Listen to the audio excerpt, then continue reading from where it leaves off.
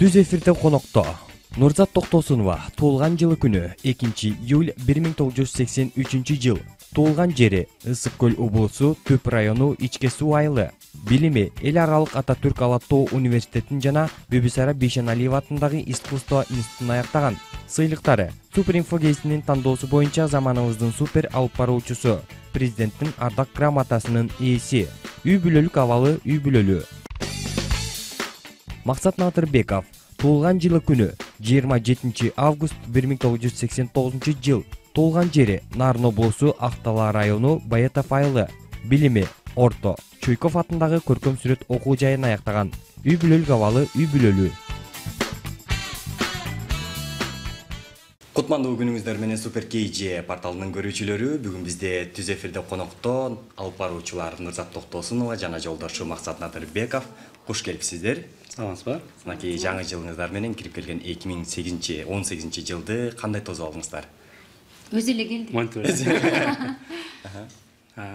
жакшы кандай окуялар менен коштолду окуялар окшош эле салют көрдүк эчкече жылдагыдай эле быйылкысы жакшы болду үйдө болдук үйдө атам апамдар менен чогуу тоздук айылда. Жок биз шаарда? шаарда чогуу турабыз да анан кудайга шүгүр быйылкысы ошол жакшы болду А, мындан бир жыл мурункусу жетишип калганбыз а андан он бешинчи жылы такыр эле.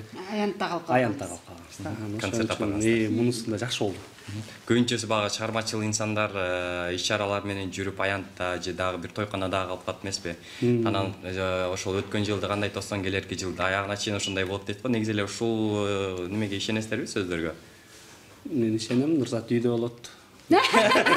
он үйдө мен ошону деп күтөм деп Ооба. ыйлайбызмы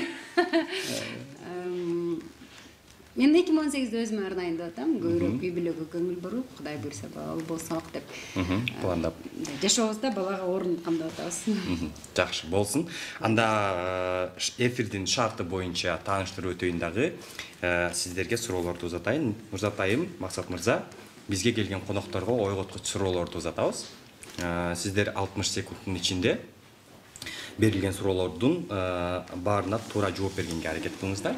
Экөөңүздөр тең мыкты күчтүү акылдуусуздар дегендей анда кеттик. Э, эң алгачкы суроо нурзат токтосунова атасынын канча апасынын канча жашында көргөн кенжетайы?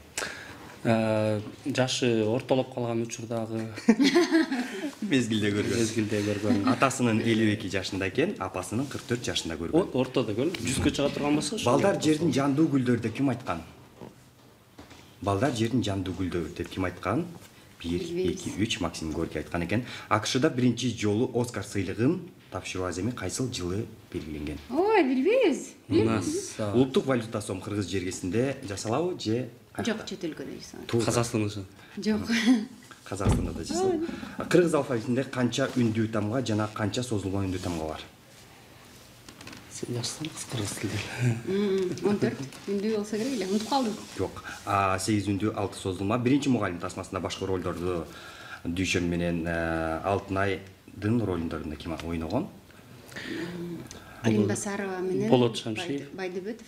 Жок болот бейшен Бейшеналиев. алиев. Болот бишеналиев ой кийинки суроого кыргыз мамлекетинин мурунку президентинен канчоо экс президент макамына ээ болгон экөө эле го дейм экөө азыр туура туура А, макалды улайбыз бай кийсе куттуу болсун дейт кедей кийсе кайдан алды дейт туура кайдан алдым дейт сурообуз бүтүп калган экен ошентсе дагы мен сиздерге эки үчөөнү улап коеюн э барселона футболдук клубу кайсыл жылы негизделген аны испандыктар эле билбесе мен футбол жакшы көрбөйм көрүнүп турбайбы футбол жакшы бир миң көрбөйм тогуз жүз бир миң сегиз жүз токсон тогузунчу жылы жыйырма тогузунчу ноябрда экен дагы бир суроо узатып коеюн жакшы кызыктуу суроо он жашында маданияттын мыкты кызматкери наамын алган бул ким манас чөмөт го дейм туура азаматсыздар ошентсе дагы сиздер он эки суроонун Жетөөнө бир эле. эки үч төртөөнө туура жооп бердиңиздер азаматсыздар.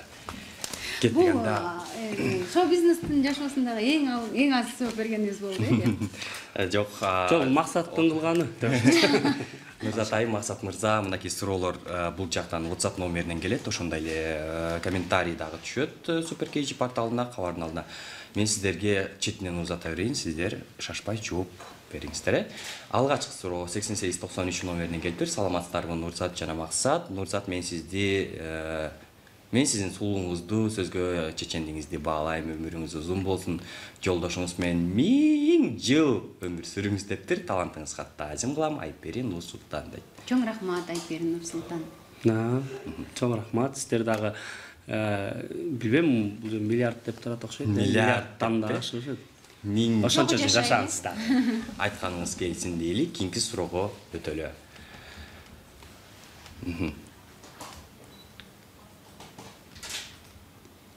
Кичине техникалык мүчүрүштүктөр болуп атат.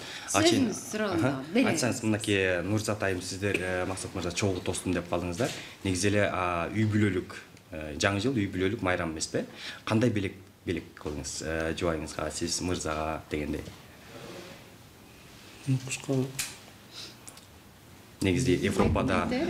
Кушка бир үч килограмм алтын кылайын дегем бирок үч жүз эле кумтурда проблема болуп атканына байланыштуу анан эме азыраак кылдык беш жүз эле грамм. ба? Ушундай кылып эле алтын бөлүп бөлүп берели дедик да негизи.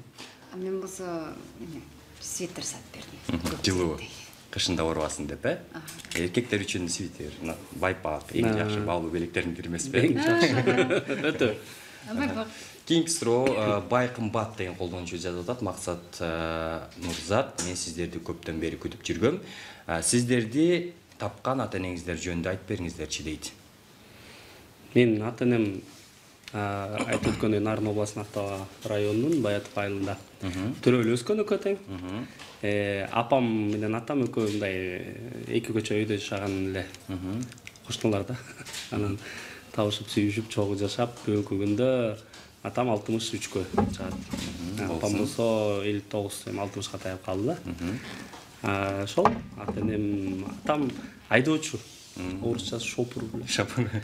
мамлекетке отуз беш жыл эмгеги сиңип катуу иштеп койгон экен азыр кичине ден соолугу кичине сыркоолоп анан дарыланып үйдө эле А апам болсо ушул атама тийгенден баштап үй кожойкеси болгон ошол боюнча дагы эле үй кожойке азыр ушу неберелердин эмеси карап берет баардыгына жардамчы да. А, байкелерим эжелерим балдарына барып.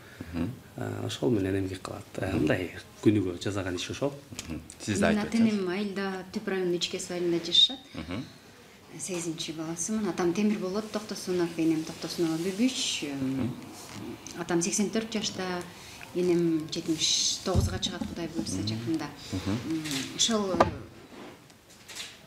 ата энем менен аябай сыймыктанам өмүрлөрү узун болсун деп айтып элем омин деп коелу. Анда кийинки суроого өтөлү токсон беш токсонунчу сандар менен аяктаган номерден келди. Максат э, нурзаттай. Күчтүү айымдын жүрөгүн багындыруу оор болгон жокпу дейт максат мырза сизге экен. Нурзат үчүн кандай курмандыктарга бардың дептир эме кылганбыз тиги а, койлор сойдук ошол эле курмандык болду го.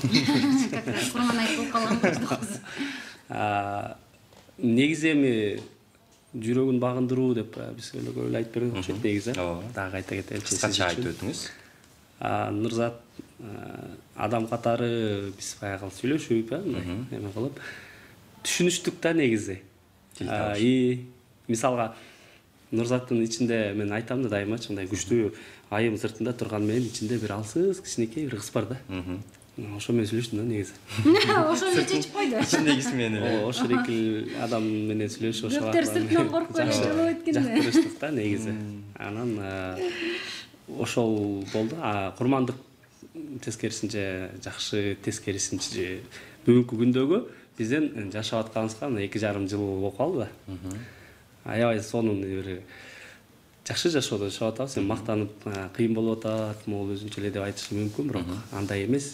Чындыгында көп сөздөр болгон ар кандай адамдар айта берет жакшы айтат жаман айтат бирок кеңеш бергендер көп болгон бирок азыркы учурда бизди колдогондордун ойлойм мындай үмүтүн актап атабыз деген ойдомун. Ошон үчүн мен үчүн жакшы жубай болуп берип атканына мен кудайга алла таалама ыраазымын ошон үчүн курмандык деле жок тескерисинче мен дай- ай- дайыма айтам. Адам менен чогуу дөөлөт келет депчи анан бүгүнкү күндө нурзаттын бүгүнкү ушул турган турпаты менен жөнөкөйлүгү менен мен ушунчалык баалайм ошон үчүн тескерисинче нурзат курмандыкка бардыбыз керек. Ошон үчүн кандай курмандыкка көрүп барышыңыз койсо мүмкүн да ошондочу үчтү да ошол эми байкадыңар да э тиги максат э, ушу экөөбүз башкашкондон бери мен аз сүйлөп калганмын.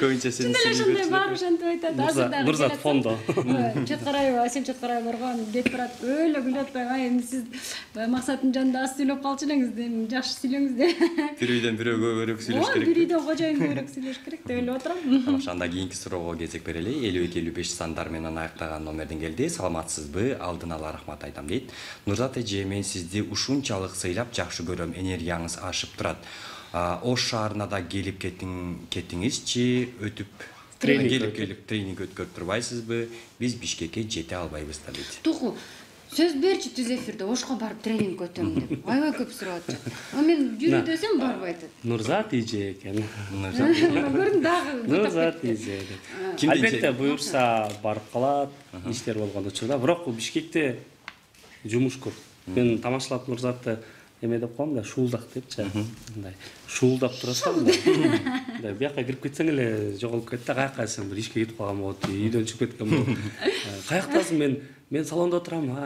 Мен жок анан бул ваннадан чыккыча мен люкста болом да анан күтүп отурбайм да коштошоюн ошон үчүн бүгүнкү күндө мен ойлойм убакыт кудайым буюрса болуп калса план планга киргизип мен атам айткандай жанагы планыңа киргизип койчу дегендей пландап киргизчи, анан ошол жака бир жакшы бир сапар кылып аракет кылалы э кудай алдында айтып койгонун аткара албайсыз да бизди жаман көрүп жаман бизе баргыбыз эле келип атат кудай насип берсе э жаман ойлоп буюрса барабыз деген ниет койсоңуз Кудай болот. москвада барабыз деп айтыпсыздар москвага да. А москвага билбейм вот ошко да. Бизди чакырбады А, москвага буюрса а буюрса барабыз ошондо барып өтөбүз да, деп айтчы крокос сити холлдо жакшы иш чара болот ошондо ошондо барып силерге тренинг өтө кетебиз э буюрса күтүп калыңыз э, күтүңүздөр деп айтып койгон да э кийинки суроого өтөлү он эки он эки кыска сандар менен аяктаган нурзат сизге актриса болуу да жарашат экен мурда актердук кесип жөнүндө ойлонуп жөнүндө ойлонуп көрдүңүз беле дептир э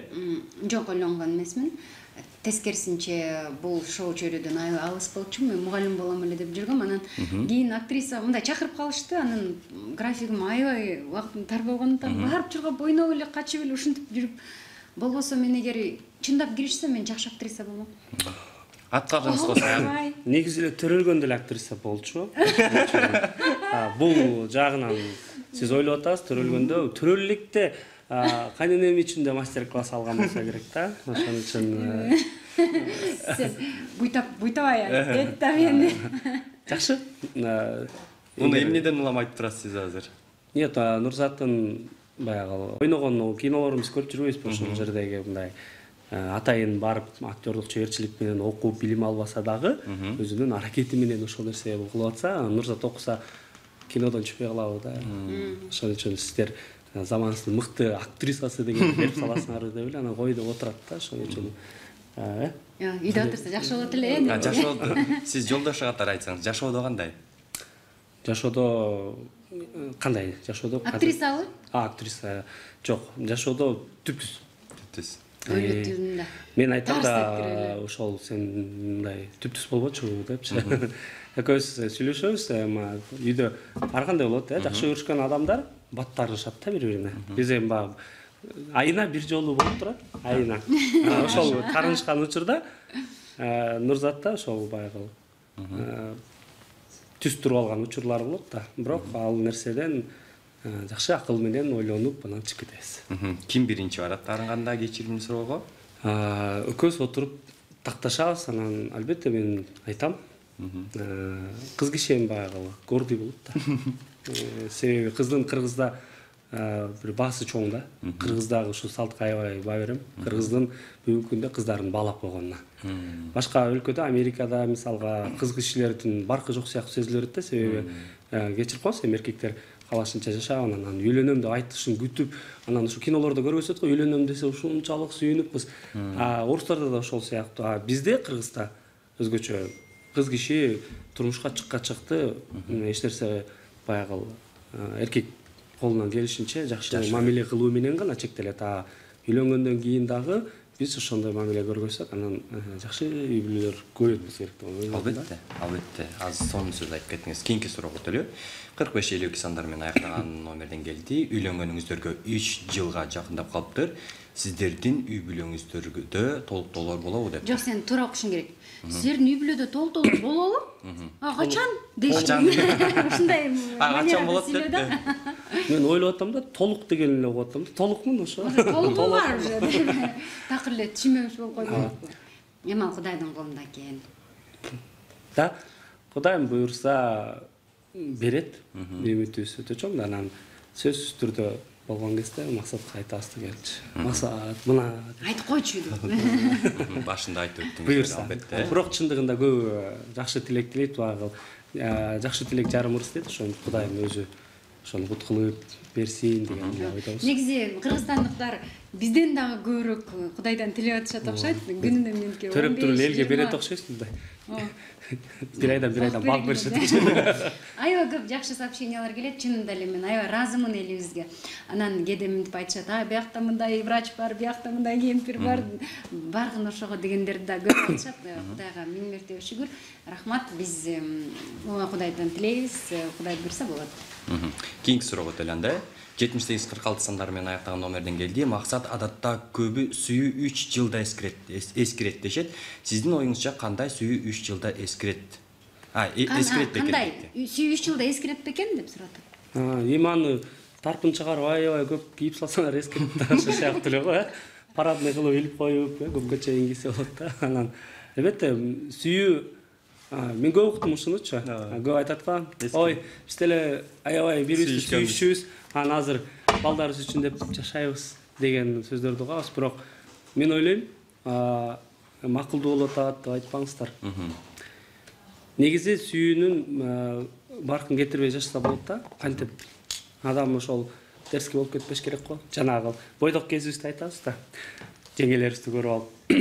Ой мен монтип эле коем мен аял алганда мен чай куй дегенде чуркап келип чай куят деген сөздөрдү айтып алганда айтат баарыбыз а көрөбүз көрөбүз а сен да үйлөнөсүң дейт да. Анан бир күнү ошол күн келип калат анан эркектер жакшы эле аялды алганда а, бир эки ай үч ай жанында чуркап а, ажатканага чейин чогуу барып келип эми эле жанынан чыкпай жүрүшөт дагы анан баягы көзүн карап тамак жедирбейт ушинтип атса анан баягы кишилер бар да ошолор отуруп туруп айтат да депчи дегенде эстеп кетет да баягынчы эстеп кетип туруп эле анан айткан сөзүнө турайын деп эле аны аял кишиге жаман мамиле жасап баштайт да мисалга туре эмне жатасың мынтпейсиңби апа мынтинтпейсиңби антпейсиңби дегенде баягы сонун жомокту көргөзүп аткан аялдын башына тозок келип эле түшүп калса анан ал жакшы сөздү уккусу келет да.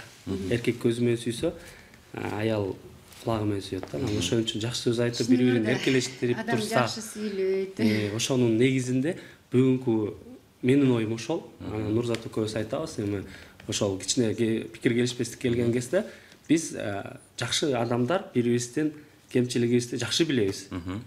Анан урушкан кезде ошол экил кемчиликтерди алып чыгабыз дагы. Анан ошолор менен бири бирибизге чабуул жасайбыз да. Анан деңгээли бар да ар бир нерсе өсүп отуруп бир маалда адам кайдыгерчиликке барып калат дагы анан мен сенсиз деле жашай берем а э бар кете берет сен деле мен мага деле баары бир депчи. Анан ошондон экөө кетип калат элдешпейт бири бирине тултуят. Ошондон сүйүүсүн устайт го бири бирин жек көрүүсүн анткени адам кетип калса барып алып жинин келе берет да. Андан акмак ары десе. Ушул жери мага максат э сөзүң аралчы анан нурзатты мен токтотом. Анан нурзат кетип калат да ал качып кетип калат. Анан мен артынан ээрчип алам. Болгон ээрчип жаман алат. экен аялдычы отуруп туруп эле кетип калат анан мен да артынан ээрчишип экөөбүз анан токтолуп анан айтам да кел чечишип мен катуу айдайм менден катуу айдайт башында эме кылганбыз э, бир жакшы закондор кабыл алганбыз ошол жерде. Эч качан таарынышып уктабашыбыз керек деген бар да.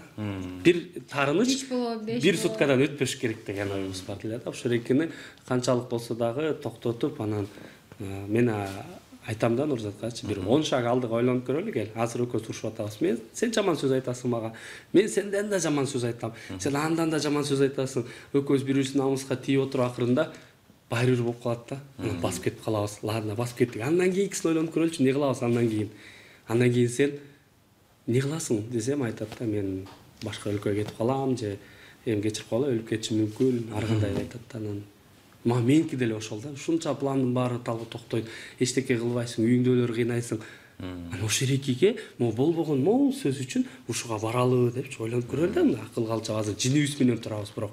Ойлонуп көрөлү да ойлонсок не стоит да. Кечиндеги Ал- ачууң э, эртеңден таркайт дегендей. ошон үчүн э, болду давай ушул жерден токтодук. Стоп. Кел элдешебиз мен сени сүйөм сен мени сүйөсүң экөөбүз кучакташып өшүп анан жетелешип үйгө кирип кетебиз менин карындашым айткандай кечикпай айтсак экөөбүз эки урушуп жарым жылда атабыз бир эле жолу болду экөөбүз урушуп атабыз да а, үйдө туруп анан эртеси эртең менен өлө тиіп өтүп кетип атышат да баарыбыз анан экөөбүз ызыңдап сүйлөшүп атабыз Кичине сүйлөшүп атышат атсак да анан өткөрөм тип кучакташып өөп мен уже атып, бүттүп келди ойлоп атыралчы анан күлүп атпайбы ошон үчүн эрди катын урушат дейт эси кеткен болушат деген ушул да. Ошон үчүн эми баягы кечке эле экөө урушуп эле кырылышып атыптыр деп ойлобоңуздар айда жылда. Эки жарым жылда Э, биринчи жолу деп бир болуп турчу нерсе. Э, бирок көпчүлүк үй бүлөдө ошол нерсенин айынан болуп аткан. Ошол кыскасын айтканда максат эркек кыскасын айтканда биз кыйынбыз жок жок жок деп коем жок кыскасын айтканда максат аябай кыйын да. Мен ушунчалык мага жаңы дүйнө ачты ушунчалык менин үшүгөн жүрөгүмдү жылытып алды да анан эл эмне дейт? дегенден да арылтты. Мен аябай баатыр жигит деп эсептейм мен ушунчалык ыраазымын туруп алып кетип калбайбы учуп кыйын турбайбы жок көрсөтсөң мен муну күндө эле айтам максатка сен кыйын экендигин сен мага жаңы жашоо тартуулаганыңды себеби кыргыз эркектеринде мисалы көпчүлүк үй бүлөлөрдө эркектер аялдарга жакшы сөз айтпайт урматтуу мырзалар бизди көрүп жатсаңыздар бизди оңой эле сөз менен алдап койсо болот колдоп койсо болот ошол эле айымдарга да кайрылат элем мактаңыздар жакшы сөз айтыңыздар. Себеби үй бүлө мамлекеттин ичиндеги үй бүлөңдө тынч болбой дүйнө тынч болбойт экен да. Анан биздин мен учурдан пайдаланып ушул максаттын ушундай бир кемеңгер акылдуу терең ойлонгонуна ыраазымын мен аябай кыска ойлоном мен аябай жиним мурдум учунда бирок баттаркайм бирок бир нерсени кылып алып өкүнүп калган учурларым болот да. А максат болсо ошонун баарын сүйлөшүп түшүндүрүп эмне үчүн андай кылбаш керек экенин айтып берет да анан ушул жагынан мен аябай көп нерсе үйрөнгүм ушул жагынан дагы максаттан аябай чоң үлгү алдым да эми кудай кут кылсын эч нерсе деп айта албайм эртеңкибизди биз билбейбиз бирок ушул күнгө чейинки максат мага үйлөнөрдө бактылуу кылам деп айткан болчу андан бери бир дагы күнү ошол сөзүн бузган жок да мен ыраазымын ушуну айтып коеюн дегем туку рахмат үй бүлөңүздөгү желдетип турайынбы көз суроого элдер ойлойт да? эмне семирип атасың ушундай сөздөн семирет экен тамак жакшы сөздөргө тамак эле эмес мантыйдан эле санаасы жемиш жок сары сууга семирет дечү эле Ооба. жакшы сөзгө дагы семирет турбайбы э ошон үчүн максатта аял алыш керек. Ооба, аял алса семирет келиңиздер кийинки суроого күтүп калышты. Биздин окурмандар алтымыш жетимиш жети сандар менен аяктаган номерден келди. Нурзат эже жолдошуңузду популярдуу кылуу сиздин максатыңызбы? Максат надырбековду сиздин артыңыздан популярдуу болуп жатат дешет дептир. Эми бул сиздин оюңуз Э, кимдерди сиз уксаңыз алар ошондой ойлошот болсо керек. Максат менин жолдошум менин өмүрлүк жарым. Кандай кылсам кандай жакшы сөз айтсам популярдуу кыламбы кылбаймбы мен эң биринчиден сыйлайм сүйөм жакшы көрөм и максат баардык жакшы нерселерге татыктуу да. Негизи мен да айтайын да адамдар ошентип ойлойт да. Нурзат токтосунова негизи бүгүнкү күндө эки миң бешинчи жылдан баштап эмгектенип аракет кылып анан атактуулугу эми кудайга шүгүр кыргызстандын бир элүү пайызы таанып жакшы билсе дагы жакшы жетишкендик да анан нурзат и ушундай э, жана элдер айтат экен ушу атактуу болуш үчүн тийип алыптыр деп ойлоп аткан болсочу. Жок мындай кылбайлы ойлош керек антип? Ошондой болгондо ошол ошол нерсеге деле ар ар кандай ой келет да. Бирок адамдардын жашоосунун ичинен кирип көрбөгөндөн кийин биз аябай көп нерсени туруп алып сыртынан томуча беребиз да. «А, мындайго андайго депчи. Бирок анализ кылган адам байкайт. мисалы максат андай болсо мен барган жердин баардык адамына барып мени менен сүрөткө түшүп киргизе бермек киргизе бермек. Инстаграмыңа мен ошо мисалы жакында эле кой бетиң жок экен дедим. «Эй, хотя бы үч күндө беш сүрөт киргизип койчу депчи. Көрдүңбү башкалар жан талашып популярдуу болоюн дейт а максатта ошол нерсе жок мен максат ошонусун дагы сыйлайм да себеби сен аркылуу тепкич аркылуу көтөрүлүп кетейин дегендер аябай эле көп да эптеп эле жаныңа бара калып даже мисалы бүгүн мен фрунзеге барам аябай көп кишилер чогулуп атат ресторанганчы А, максат мен барбайм деп койду да ушундай нерселери бар да эгер чынында эле популярдуулукту эңсеген болсо суперкежиге канча жолу келип кетмеген туурабы сен бир келдиби эки мени жыл. чыгарчы деппи бир да айткан жок сага туурабы ушундай да кийинки э, суроо эле тука сен окучу ошону максат нурзаттан катуураак чыгарып болордун катуураак менен. чыгарып окуңуз максат деп эле окуйм отуз эки он алты менен. сандар менен аяктаган номерден келди максат нурзаттан күчүү болгонуң менен нурзаттан Нурзат а, курактуу эле көрүнөсүң. курактуу эле көрүнөсүң сен атайын нурзатка төп келейин деп толдуңбу же нурзат сенден улуу көрүнүп көрүнбөйүн калбайын деп деп. Жашарып жашап жатабы дейт А, а, негизи бизде максат кан эмнеге антип окуп атат деп майданы зрениясынан көрүп жакшы окуй албайт экен сен сен туура түшүнсө болот э а то окуганды билбейт экен дегендер да чыгат эмеспи А, негизи а, бул көпчүлүгү ойлоп атат да мен мегатой деген киного түшкөндө айтканым чын эле да А, гепатит б болуп а, эми вирусный гепатит деп коет эмеспи ошол болуп анан больницага барып анализ тапшырганымда кыймылдаба чуркаба тренировка кылба оор көтөрбө деп койду да бирок анын ичинде майлуу жебе деп жебе деген бар болчу анан мен болсо жебе деген деле бар болчу. Ошо чуркабай калдым өзүнө жарашасын деп алып калды башка нерселерди кылбай ошо эчтеке жумуш кылбагандыктан толуп кеттим себеби мен өзүм кичине кезде бир жеки спортсмен болчу. жеки чанды Жеки аябай кумир тутуп тим эле баягы шатысы жок башчылары башчы чыкчумун да. Анан ошол эки эле нерседен менде эме болду токтоп калдым да баягы коркуп кетипчи боор жөнүндө көп нерселерди угуп берип анан көрсө ал мындай эле вирус экен ал айыктырып койсо болот экен диета менен эле анан азыр болсо өлө мына ана деген бар го анан өзүң билгендей күз келди күз келип Ушул мантууну жеп алайын, анан баштайм. башкалар болуп отуруп жаңы жылдан кийин баштайм дедиңиз анан жаңы жыл айын баштайм дегем. Жаңы жылда Келе келип калды бизге. жок а, азыр дагы могу иш чара болду анан бүгүн бияка келдим анан дагы нур академияда студия жасап атабыз башкалар кылып атабыз анан ошон үчүн чечпей алдык бирок кудай буюрса ал нерсе оңой эле мен дайыма айтам нурзатка мен батыл арыктап коем депчи. Арыктап коет. Бирок э, тырышып бир нерсени жасайм десе жасап коет. күтөбүз э? Буюрса, арык максат мага окшош. Ооба. Анан эме деген бар болуп атпайбы нурзат аябай жаш болоюн деп атат депчи. Арыктаган жокмун мен жан дүйнөм тынчтанды да.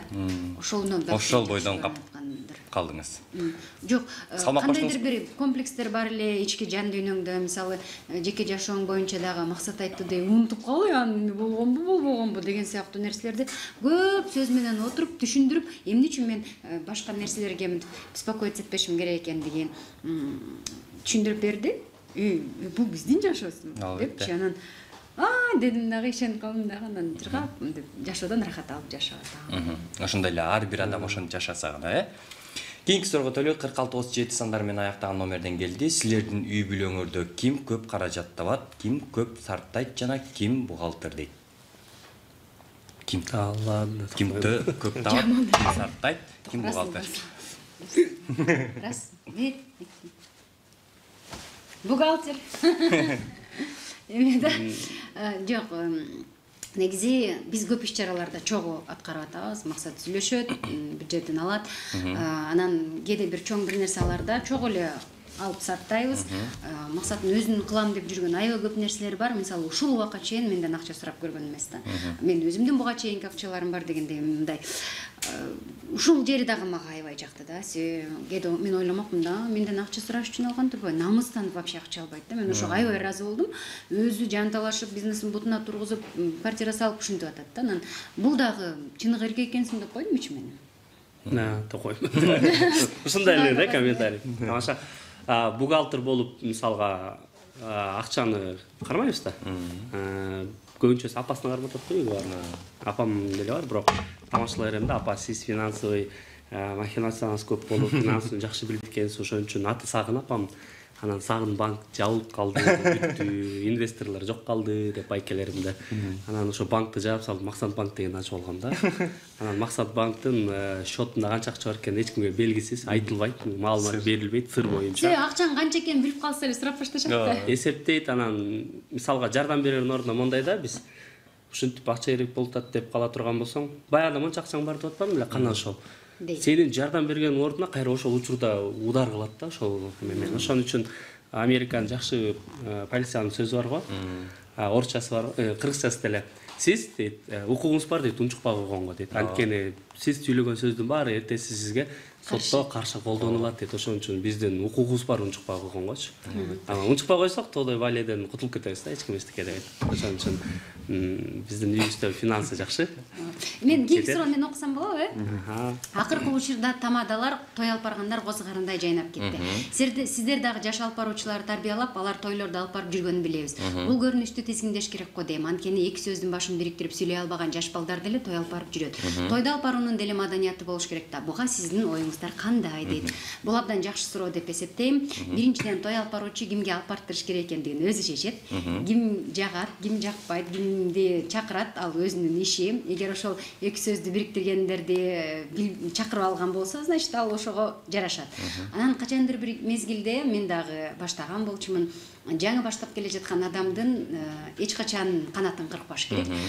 Экинчиден мен конкуренция деп ошол балдарды тарбиялабай койгондо ошол эле таланттуу кыргыздардын акчаны көп тапкан кыргыздардын саны азаймак. Биз тескерисинче ичибизди кенен коюп башкаларга дагы жардам берип мен ошол булактардын көзүн ачсам алар дагы бир күнү дасыгат алар дагы бир күнү тизгинди колго алат. Ошондо мен сүйүнүп аларды карап отурган болом. Анан эгер кимдир бирөөлөргө алып барган тою жакпай болсо бишкекте баардыгы бири бирин билишет бири бирине чалып эле айтып коюшат муну чакырба тигини чакырба ошондуктан мен балдарды азыр аябай жакшы тарбиялап туруп чыгарганга бир жыл бир жыл жанымда алып жүрүп андан кийин акырын чыгарып атам.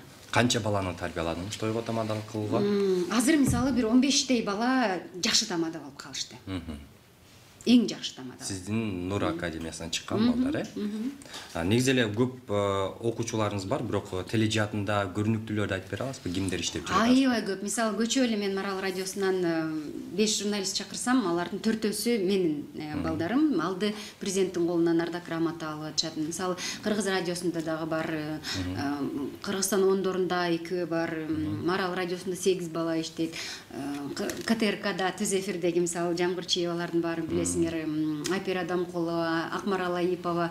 Э, түз эфирдеги мисалы канай анаркуловдон баштап абдан көп балдар кыздар биздин нур академиядан чыгышкан бул менин аябай чоң сыймыгым сиздерде оку а, иштеген илим илим дагы силердеги таттуу садыркулова э, ал дагы биздин нур академиядан азыр жалпы жонунан канча бала бар сиздерде мен аларды мынтип санап көрбөптүрмүн чын эле эсептей эле бизге келет окуйт окуйт кетет бирок биз биз андан ары дагы бар Келип кете берет, э? бүт эме анкеталар толтурулат да сүрөттөрү менен бирок аларды монтип эсептеп э, билбейт да анткени директор бар өзүнчө.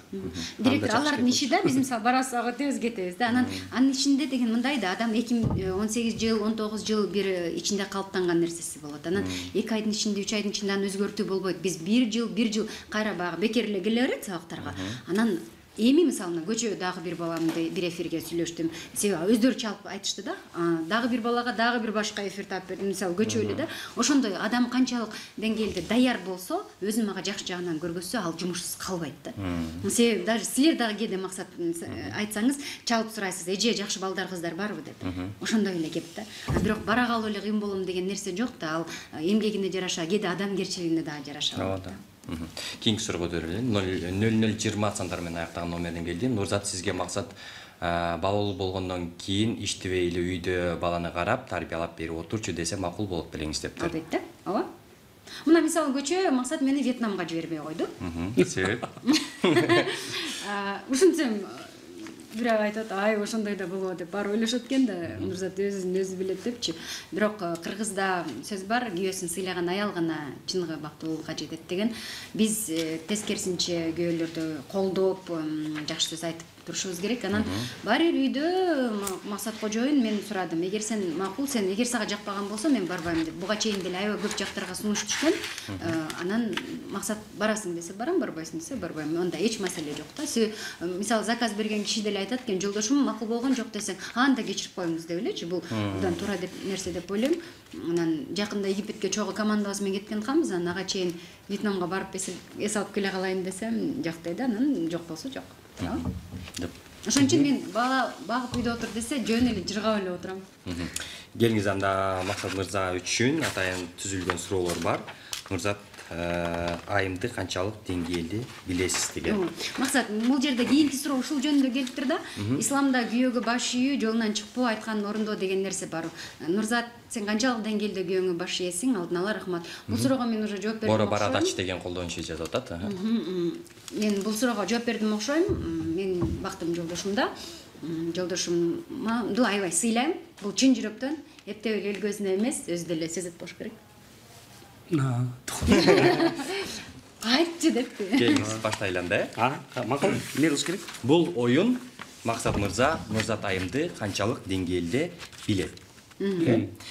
А, суроо биринчи жакшы көргөн гүлү жакшы көргөн гүлү роза. Туура эртең мененки тамакка эмне жегенди жакшы көрөт розабы гүлүңүз ооба роза роза. Айтып туруңуз э? Эртең мененки тамакка эмне каша жегенди жейм деп берет да эми туурабы? ооба. Туура күрүч экен э кайсыл түстөгү лак коет колуна? Лак койбойт. Такыр. такыр койбойт. Такыр эми койбойм. такыр койбойт да. Акыркы өмүрдө мен Мгм. туура бетине кандай кам көрөт? Аябай жакшы кам көрөт аябай дегенде Кантип? кантип көрөт кечинде жанагы эле умубашка эле бирдеке менен жууйт макияжын чечет өзүнчө ритуалдар чечет фурум ритуалдары бар сүрөтүн маска кремдерди маска жабат салондорго барат Бут кийиминин кылат, көп нерсе кылат бут кийиминин өлчөмү отуз алты отуз беш экен э ну кичинекей да аябай А, сизге көп айткан сөзү акыркы күндөр ушу туку болуп калды туку Э, биз ушу эмне кылчу деп эркелетпейбиз. А, дагы көбүнчө арыктачы дейт тапты туура акыркы учурда эмне сатып алсам деп кыялданып жүрөт акыркы мен эмне сатып берчи деп сурадым элем туку сенден күндө эле сурайм ошо канча турат деп эле камерабы анан сен албай эле эскиңди эле колдонуп беле сотка. ноутбук экен э ноутбук ай. Эки суроого туура эмес соткасы сынып калып анан жаңы сотка экран эле сынып калды кел оңдотобуз болбосо эми нот пятиңди азыр жакшы эле го Ооба. десем ну, деп атырган көндү оңдотуп берип койдум ышыгылып максат айткандай болот эми көрүп атасыңар да сиздин биздин же- узаткан суроолордун экөөсүнө туура эмес жооп бердиңиз. Алар э, бут кийиминин өлчөмү жана эмне сатып алсам деп кыялданып жүргөн боюнча жакшы мен карагам аябай мен барып эмени карадым да appleдун жакшы ноутбуктарын макбуктары карасам жакшы экен. Памяттери жакшы. Анан э, баасы да аябай жакшы экен да. Анан айттым андан көрө самсунг эле албайсыңбы деп ойлонуп атабыз. А, өңү фиолетовый сиреневый цветтеги жакшы көрөт. Ошону бүт жак сиреневый да. Жакшы жакшы. Жакшы жооп болду. А, учурдан пайдаланып ноутбук алдырып алса окшойт э. Кийинки суроого өтөлү зорго деген колдонуучубуз жазып атат. Максат мырзаттын колун кое бербей кармап отурасың го дейт эфирден көрүп атат окшойт э эфирде аябай жагымдуу кыргыз жигиттеринин баары эле минтип коом алдында аялын э, Аял жагарын көрсөтө жагарын бербейт. көрсөтө бербейт. Азамат жакты эфир алдында таарынышып келиңер беле дейт. Мырзат тултуңдагандай го дейт жок. Азыр бул эфирден чуркап чыгып барып мен эки саат сабак өтүшүм керек. Тренинг нурзаттын да иштери көп болуп атат. А, ошого ойлоп отурсак керек. Бирок сиз айткандай колуң кармап бизде ушул нерсе кыргызда мындай да достор дагы айтып берет го э, подкаблучник аялын укса эле ушинтип эле Шиш такаш. анан ошону менен экөөнүн ортосунда мамилени бузушат да баягы казактардын бир вайнерлер тарткан аябай сонун бир видеосу жакты мага бирөө кетейин деп атса э, жамандап баштады досторчу сен ушундайсың деп просто келип туруп айтты да. Сен эмне мага кыйналып эки бала сен төрөп бердиң беле десе унчукпай калды сен күнүгө монтип тамак бересиң жок дейт баарысың ушундай эмелерди айтса унчукпай калды ошон үчүн оозуңарды жаап жөнөп отургулачы мага ошол адам ушинтип берип атат дейт да ошол сыяктуу өмүр бою мен нурзат менен монтип абышка кемпир болуп экөөбүз жашагычакты жашайбыз да ушинтип кудай өмүр берсе анан бул адамды эмнеге мен эркелетпешим керек ушул адамга мамиле жаман мамиле жасап муну урушуп кагып силкип алыс отуруп алып алдыга бас демешим керек да себеби өмүр өтөт ушул адам менен бүгүнкү күндө менин атам апамдын ата энелери өтүп кеткен бул дүйнөдөн эң жакын адамдар экөө да бири биринечи ал менин ата энем мага аябай экөө бир сыяктуу көрүнүп атса экөө ушинтип эле бир үй бүлөдөн келип эле экөө кошулуп калган да. Анан ошол эле адамдар менен чогуу абышка кемпир болот да элестет. Анан ошол экини азыр сүйүп азыр ушунчалык жакшы мамиле кылбай анан кийин өлгөндөн кийин ушу абышкамды ушинтип койбой же кемпирим ушинтип албайт дегенден Армандаган. Азыр эле сүйүш керек да азыр ушул учурда мына азыр жасаш жашашыбыз керек да анан эртеңки жакшы жашоону күтө бербейчи. Эртең дагы эркелешип койсок болмок деп деген ой. Кийинки суроого өтөлү саламатсыңарбы? Нурзат мектепте окуп жүргөндө район областтарга чейин барчу эле чогуу манас айтып дейт. Азыр манас айтканды унуткан жоксуңбу кичине өзүңдү айтып бересиңби дептир урматтоом менен назипат Талдысуудан. назипат саламатсыңбы баардык жердештериме салам айтам тааныңызбы М, билбейм себеби биз аябай көп барчубуз көп кишилер барчубуз бирок назипат ыраазымын сенин жакшы су- сурооңуз үчүн анан чын эле мектептен бери манас айта элекмин Мхм. айтчыңыз демек э калдым эми ал убакта деген утуш үчүн баарын жасачубуз да. Жаттап э кыйналып деп. Үзүндүлөрүн айтып бересизби айтып берчи дептир жок м, есімде ушу айта албайм азыр эсимде жок эсиңизде жок болуп атат, э? эсимде жок. Андан бери айта элекмин эми э, бизде эле бир топ э, убакыт өтүп кетти да бир он он беш жылдан баштап. Э, андан бери эч бир нерсе айта элекмин да кийинки суроого өтөлү кырк үч жыйырма жети сандар менен аяктануу менен келди. Нурзат жолдошуңузду жаш кыздардан кызганасызбы дейт? Такыр кызганбайм. Таптакыр себеби э, себеби мындай да адам эгер өзүнө ишенсе адам ичиңдеги э, өзүңө болгон сый урматың жогору болсо сен ал жөнүндө ойлонбойсуң дагы да. Ошон үчүн э, максат кандай чечим чыгарса ошондой болот. Э, мен антип кызганып кайра кайра чалып мисалы достор менен кеткенде бир жолу мага чалып айтып коет. «Ма- мен мынча да келем макул. Анан апам эле минтип берет ай тыйгына ай чалбайсыңбы кайненемчи биз чогуу жашайбыз да ай чал түү жүрөт. мындай эле кеч келет да достор менен анан апа деп айтам. Биз чалышпайбыз биз ошентип сүйлөшкөнбүз мен билем ал кай жерде экендигин Э, максатка мен аябай ишенем. Ишеничим ошо боюнча эле кала берсин мындай керек жок андай а- апам болсо атама чалчу экен. Ишенич болсо кызганычка жол жок э? Ооба. Ооба. Кийинки суроого өтөлү. Токсон отуз сегиз сандар менен аяктаган э, whatsapp номеринен келди. А, максат нурзат токтосунова белгилүү алып баруучу сөз айткан э, Кызыккан кызыккан мырзалар көп эле көп болсо бол- керек. көп эле болсо керек дейт тиги сизге деп атат э кызганганда ачууңузду нурзаттан чыгарасызбы же ага тийишкен мырзаларданбы дейт. Мен маани бербейм А, нурзатка жок айткам эч ким нурзатка тийишпейт деп эле айтсам Э, жок эми мисалга жок чын эле да эч ким келип монтип ачык эле там ай деп тийиш- тийишкен жок. Эч чындыгындачы эгер максат жокто деле эч ким тийишчү эмес мага. Нурзат деген өзүнүн эмеси бар да тиги м, а, антивирусу бар да. Анан бат эле мындай сырттан эле каштары менен эле мындай. Каш мындай жакшырчы деп кое алат да мындай сүйлөп элепчи ошон үчүн сүрүү бар да ошон үчүн мындай тийише албайт. көп киши келип тийише албайт да ошо. Анан нурзатка мен дайыма айтам ошо. Мен сага ишенем. Акыл акылдуусуң ошо ошол нерсе менен жаша депчи ойлонуп. Көбү бар го мен жигиттер көппүз да. А, ошо жигиттер девушкасы болуп турса да үйлөнө элек болбосо чалып алып каяктасың кайда жүрөсүң үйдө кирдиңби чыктыңбы бул өтө жаман да. Бул ишенбестик анан дайыма айтам нурзатка сен эң башкысы дээриңде болсо жакшы болот ошол эле а ми а, мындай адамда акыл болбосо ага веб камера байлап койсоң делечи жаман нерселер кыла берет да ошон үчүн ишеним ошон үчүн нурзат өзү эле тейлеп коет да мындай ишенич болуш керек. Дей берсе бирөөлөр да а деп келет да баягы көз кысса букада жибин да ошон үчүн көз кыспайт ошон үчүн андай жок кийинки суроо өтөлү алтымыш жети нөл беш сандар менен аяктаган максат акыркы учурда кинодон сизди көрүп калдык А, сын айтсам капа болбоңуз керек. Капа болбосоңуз керек бирок сизди бирөө э, мажбурлап ойноп жаткандай эле сезилди. Бул ойма кандай дейсиз дейт. Кайсыл э, мегатойду айтып атса керек э? мүмкүн. Бирок мен актерлук чеберчилик жанагындай атайын театрларда окуган эмесмин андай билимим жок болгон үчүн. Мен үчүн ал биринчи роль да. Анан тартылдык колдон келишинче. Мажбурлаган жок. камера деген болот. Э, мисалга азыр ушу жазып аткан инсан бир камеранын астына келип эле можең отуруп эле сүйлөп берсеңиз анан түшүнөсүз мени. Ал жерде ойнош керек ошол образ жаратып анан ошондой ситуацияны элестетишиң керек болбосо. Ал жерде сиз даяр болгон продуктуну көрүп атасыз да а тартылыш өтө кыйын. Ошол эпизоддорду биз канча саат тартканбыз? Бир күн бир күн.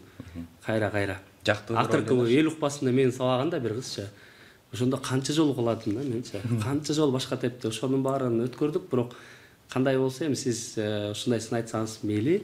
Эми аябай тажрыйбалуу кыйын актер болуп кетсек ошол кезде мен сизге айтам рахмат ушинтип кемчилик айтпооңузга деп. Кийинки суроого өтөлү элүү жети алкыш бир сандар менен аяктаган. Нурзат сени жогорку кеңеште отурган депутат айым катары көрө берем. Сен өзү он жылдан кийин кандай элестетесиң дейт өзүңдү? Бир. Мен кандай элестетеримди максат билет айтсаң.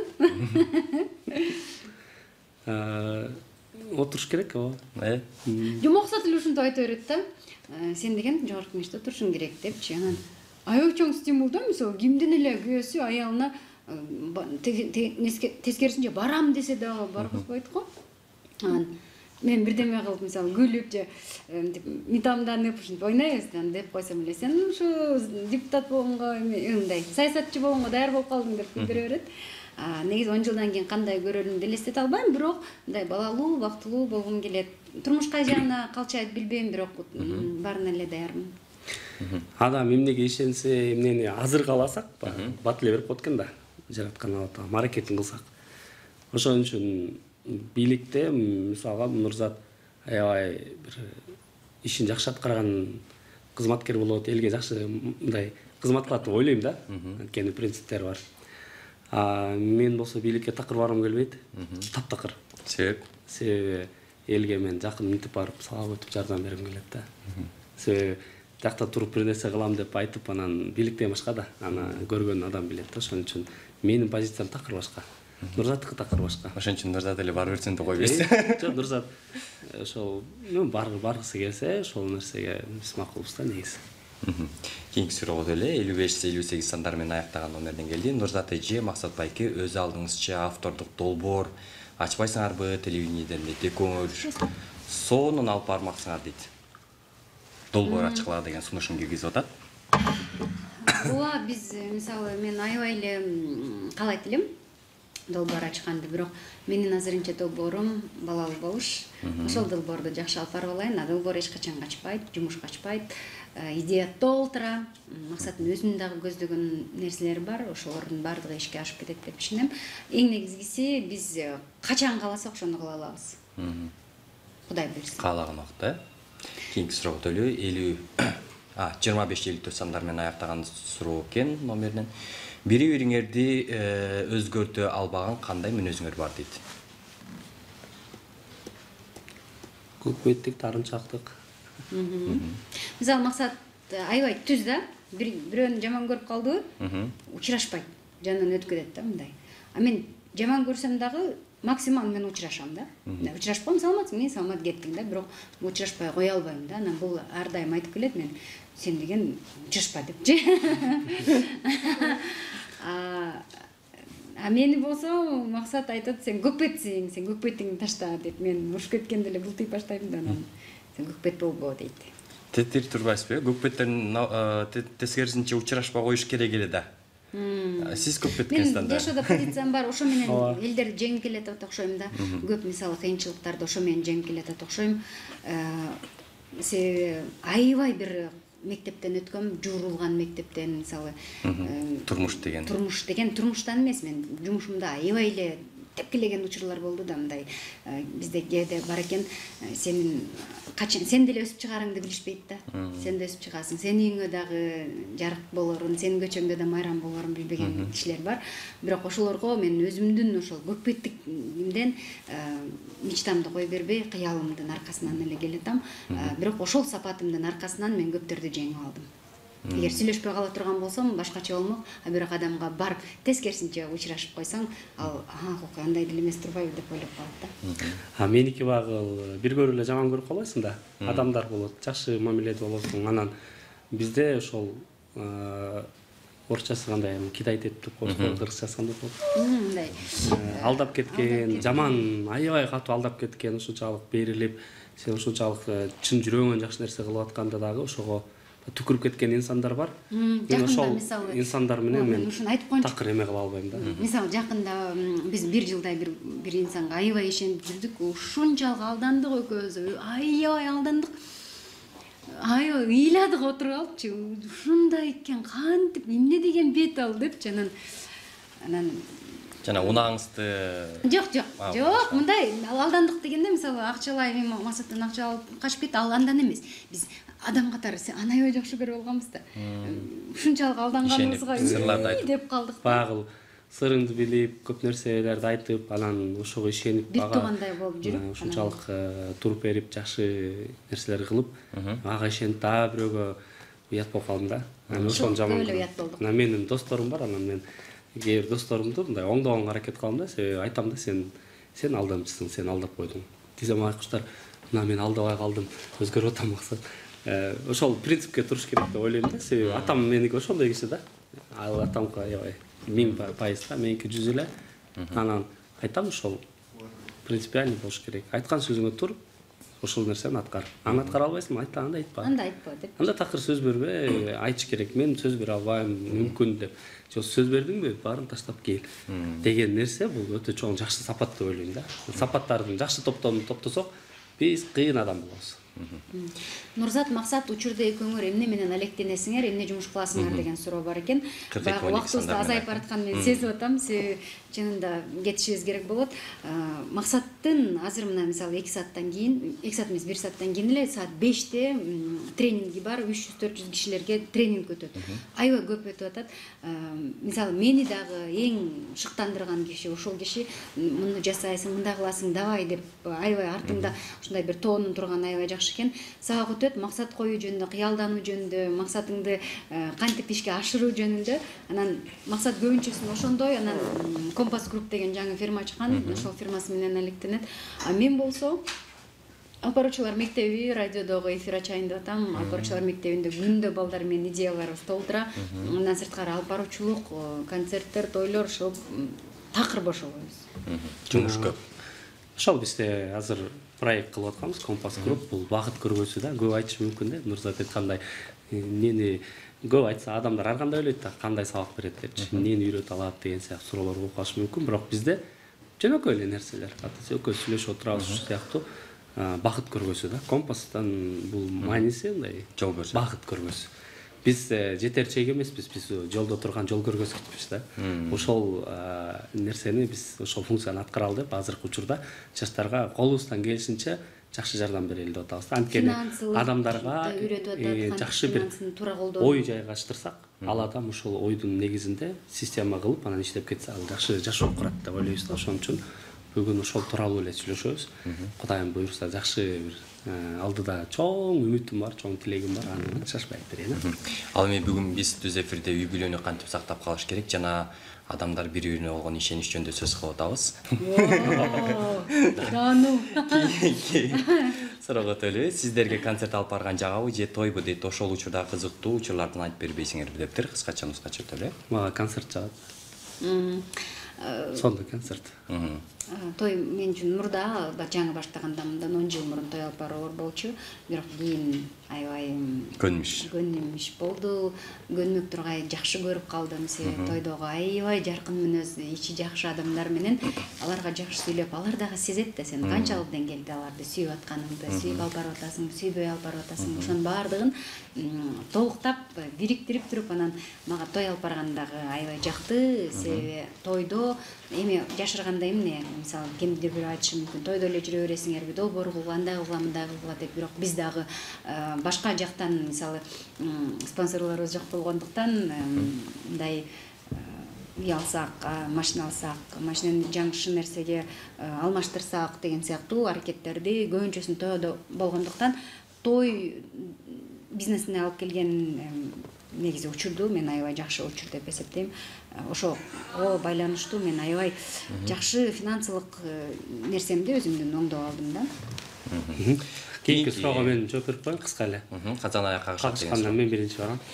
Ошо. Кагышканда мен биринчи түзөйүн дебейсизби нурзат кайнене менен жашайт экенсиңер? Жооп салынасыңбы салт менен жашайсыңарбы кайнене сизге сын же кемчилигиңизди керек эми сага айтам келин сен ук деп деген сыяктуу айткандар болду беле чынын айтыңызчы дейт Э, билесиңерби биз ушундай нерседен көп аялдар мага жазышат кайненем антти кайненем мынтиги мындай болуп атат аябай күнүнө бир он беш жыйырма кишиден жөн эле инстаграмдан фейсбуктан арман угам да. Анан анын баардыгы эле мындай салтты карманыш керек анан мынтыш керек тигинтиш керек? Жыргап жашаш керек. Жөн эле ооба жоолук салынам.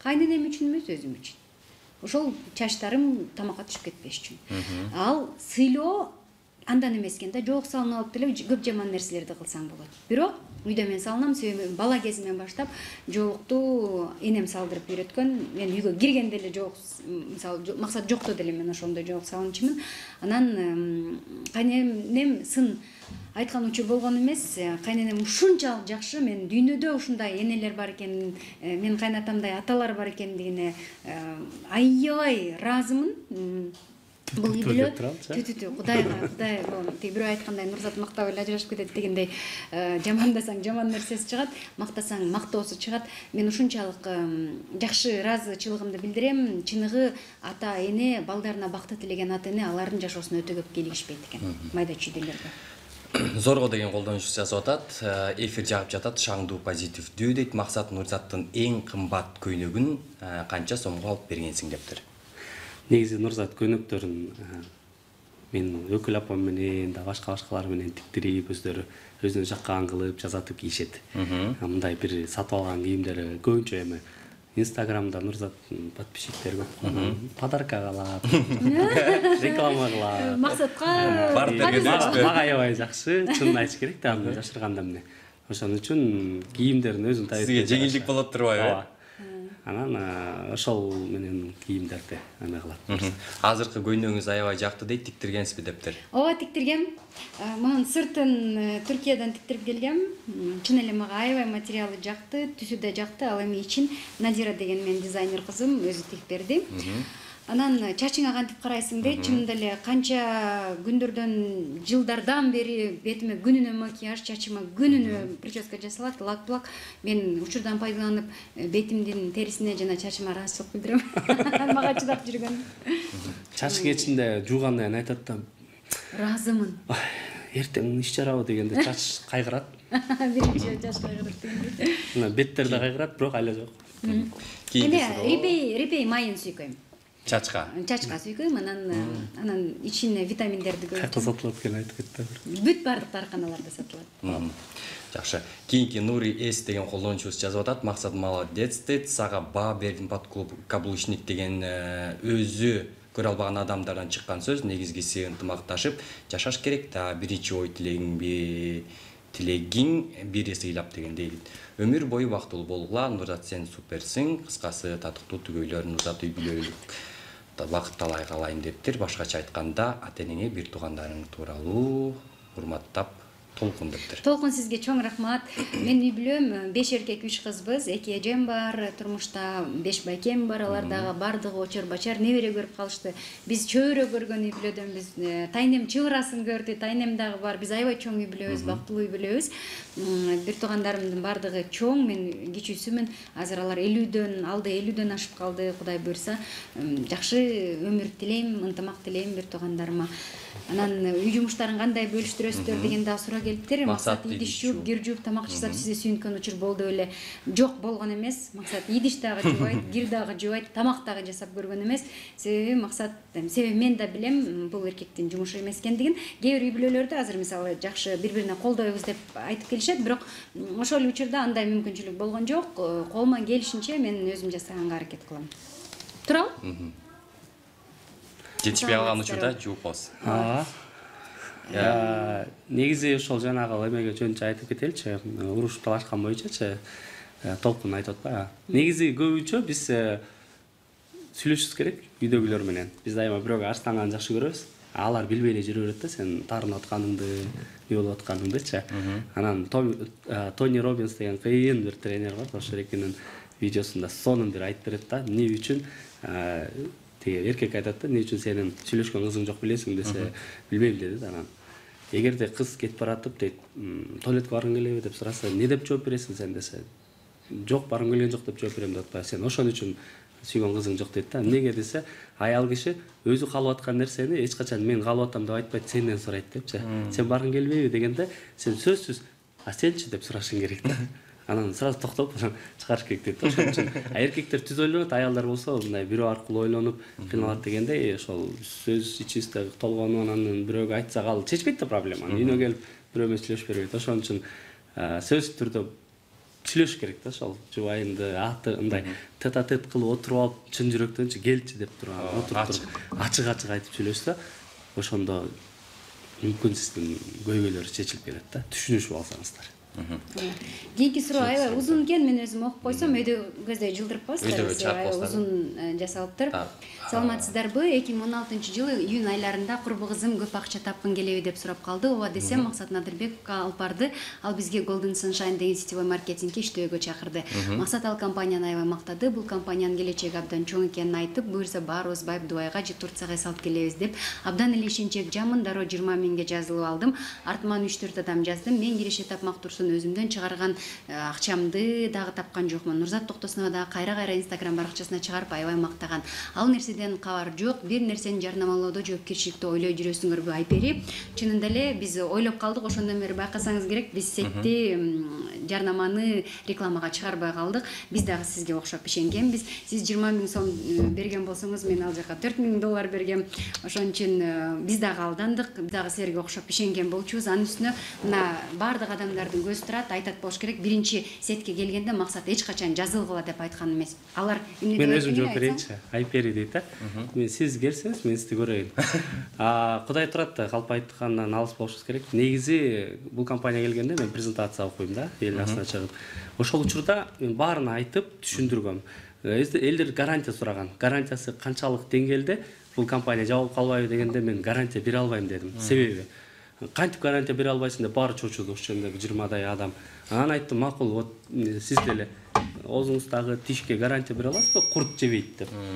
Сөзсүз түрдө айтып айта албайбыз да биз жашообузга гарантия бере албай атып чоң бир компанияга гарантия бере албайм дегем анда эмне кылабыз дегенде үмүт менен иштейли мүмкүн жакшы болот дагы жакшы болуп кетсе чоң нерселерди кылабыз болбой калса банкрот болуп калсак эмне кылабыз деп сурашты көбү айттым банкрот болсок отуруп банкрот болуп калабыз эми ошого да ойлонуш керекпи депчи анан макул болгондор биз менен иштешкиле деп иштегенбиз кудайга шүгүр азыркы сиз айтып атасыз билбейм мен э, келип могул адам естип келген мен мондай кылган десе мен сизди таза сууга алып чыгып көргөзүп бере алам мен сөзүмө тура алам анткени мен калп айтып бирөөнү алдап э, сени жыргатам кел мен сени укмуш кылам деп эч кимге айткан эмесмин кудай алдында акмын мен сиз менен керек болсо максаттын көзүнчө айта алам ушул Түз жерге да. түз эфирде жооп бере алам ишенсеңиз анан бирөө аркылуу келип сиз мен сизди көрбөгөн жөн эле сырттан угуп бирөө обещать эткен болсо аларды да чакырып келиңиз мен беттерине коюп берейин Сен мен биз башында анткени эле максат биринчи күнү ошол сетке мен өзүм биринчи директоруна барып сүйлөшкөндө ал аябай мактады анан максатка келип айтканда максат айтты сен эч кимге сөз бербегин деди мен сен эч кимди жыргатам байтам антем мынтем деп айтпайсың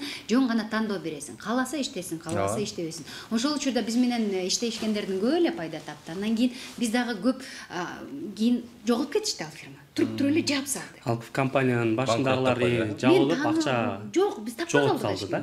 анан бул нерсенде мындай да э, көп адамдар ушул нерседен кыйналат да мен ал компаниянын офисине алып барып презентацияга киргизген жокмун себеби аякта калп айтып атышты да көбү А, көп нерсени квартира берет деди ар кайсы нерсени айтты. Анан менден да сураганда квартира береби дегенде аны кудай билет дедим квартира берет деп айта албайм мен сага мен себеби адамдар ушундай экен сен гарантия берчи деп сенден гарантия алып алса эртең мындай нерселерди жазат да. Ошон үчүн мен гарантия сизге берген эмесмин айпери. Сиз кайрылыңыз мен сизге жолуккум келет мен сиздин бетиңизди көзүңүздү карап алып сүйлөшөйүн анан ошондо сиз мага ошону далилдеп берсеңиз анда э, кудай көрүп турат да. Калп айтсак бирөөбүздү кудай бирөөбүздү уруп кетер ушул жерде жок анчалыкка барбайм жок негизи да.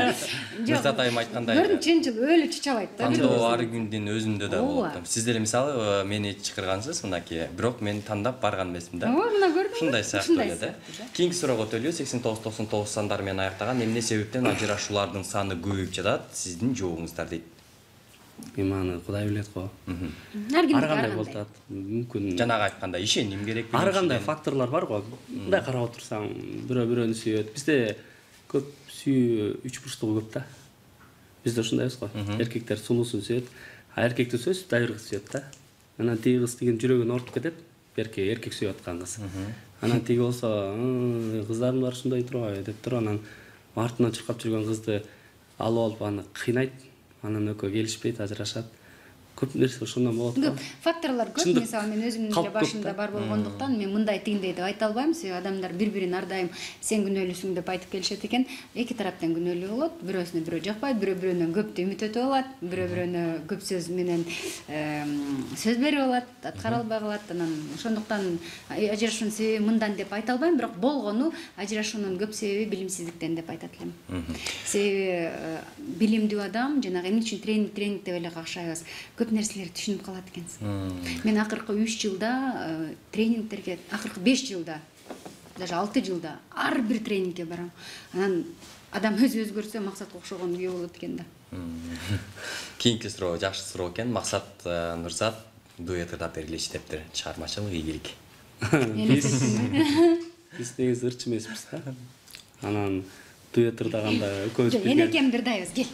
Да? Ооба эми максат такыр ырда десем ырдабайт да? Анан азыр ырдабайм десем анан сиз жазбадыңыз беле дегендер башталат. Ооба жок нурзат ырдайт нурзат ырдай алат мен да ырдай алам бирок ырдаш үчүн ошол менен аябай алектениш керек да жок азыр И азыр болсо мен ырдайбыз көрүүчүлөр үчүн э азыр да? Биз баардык энелерге арналат деп кийинки чыгарма ооба баардык энелер көңүлүңүздөрдү биз жака да Ооба. Экинчи голос, биринчи голос. ооба, экинчи үндү сен ал рэп жагын сен оку деп. Кеттик нурзат токтосунова жана максат надырбековдон энекем ай энекем энекем энекем дүйнөдө табылгыс берекем. Сен дагы дени сак болоюн ай оорубай жүрө эсен мен дагы дени сак болоюн ай оорубай жүрө эсен болсом да Эми атасы баланы мен талгат деген биздин окуучубуз бар талгат разидинов деген анан максат агайыбыздын сүйгөн ыры бар деп берет да анткени биз бир компания менен иштешип калып анан бүт жалал абад ош баткенден келгендерди көлгө алып барга алып барчубуз да анан мени болсо ортосуна чыгарып койчу элдерди ырдатып барасың депчи анан мен болсо аларды ырдатып сиз ырдаңыз акырында билем да баардыгы ушундай го бирөөнү ырдатып атсак а өзүң ырдачы деген учур келет да. Ошону билип ыр жаттап койгом да. Анан төө ашу менен ала белди жаттап алып анан ошону ырдап берчүмүн да эме деп. Төө ашу менен ала бел жолдору таталаман кел сагындым айыл мөмөсүн алма өрүк быш сала кел алма өрүк бергилечи десем баарында алма өрүк бар экен да баткенден келе атышса анан айланайын деп бел салып анан көлгө жеткиче жеп баргам да ошон үчүн мындай дежур ырлар жаттап алса болот сөзсүз ырдаса болот билбейм деген киши болбойт экен сөз азыр бул жакта мирбек атабековду ырдап бериңизчи десе анда айтмакмын ырдай албайм андай депчи анан ырдап бериңиз деди ырдап бердик эми колдон келишинче ооба эфир сонун болуп жатат нурзат эже чоң рахмат сиздерге дептир. А, анда бизге убакыт бөлүнгөн убакыт жетти окшойт э аягына келип чын эле убакыт кетти. Сиздердин дагы ишиңиздер бар экен дегендей эфирге келип бергениңиздер үчүн чоң рахмат билдирем дагы. Эркин микрофон сунайын эркин микрофон а? А, жалпы кыргыз элибизге ушул бизди көрүп бүгүн бир саат убактыңыздарды бөлүп а, карап тыңдап бир өзүңүздөрдүн бааңыздарды берип оту- берип отурасыздар ар бириңиздердин үйүңүздөргө жакшылык кудайым өзү ырыскыларды токчулукту берекени көп жакшылыктарды алып келип берсин кыргызстаныбызда негизи эле тынччылык болсун да мен ушуну өтө чоң байлык катары көрөм эми анткени дүйнөбүз түгөл эч ким урушкан жок эшикти каалагандай басып жүрөбүз анан сыртта жүргөн биздин мигрант болуп иштеп эмгек кылалы деп чуркап жүргөн мекендештердин баарына ден соолук каалайт элем кудайым буюрса сиздер дагы эртең кайрылып келип кыргызстаныбызды гүлдөтүп өстүрө турчу инсандарсыздар анан ба- жалпы биздин бир туугандарыбызга бизди тааныгандарга баарыңыздарга ыраазычылык айтабыз.